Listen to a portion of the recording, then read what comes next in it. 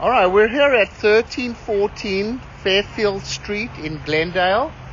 Uh, we had a little look underneath the house and it looks like pretty much everything's ABS plastic, looks like it was in good condition. We're running our camera from a clean out, three inch clean out. It's located like an end of a line clean on the right hand side of the house. Remember, we cannot check every pipe in the house. We have to check the main sewer line. You'll have the general inspector check the plumbing and stuff. Right now we have our camera in the line. We're all the way out to the city connection in the street. There's the city sewer right there. So we're going to pull the camera back and we have a six inch clay lateral coming back from the middle of the street towards the property. It actually appears to be pretty clean and good condition. As it comes onto the property, it's going to change to a four inch ABS plastic pipe. This is all ABS.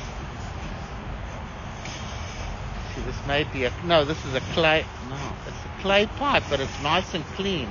Yeah, definitely clay, in pretty good condition, nice and clean.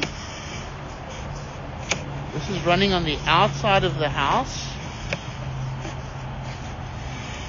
Very clean, this pipe. Okay, so this looks good.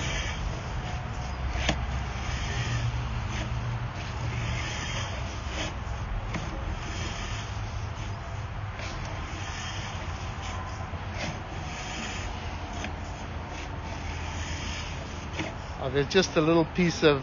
Hang on, there's. Hang on, Al. Go forward a little bit. Go forward. It looks like there's a little bit of a crack and. Okay, stop here. Uh, I'm going to just locate this one spot where there's like a little hole in the pipe over there. Okay, so we've located that. Now, Alex, just pull it back real slow. See, there's the hole in the pipe over there. Okay, and then we're going to come back, and that little piece of cast iron you saw in the line, that can be flushed out because it actually moves. It's going to turn over here and it's going to go underneath the foundation of the house.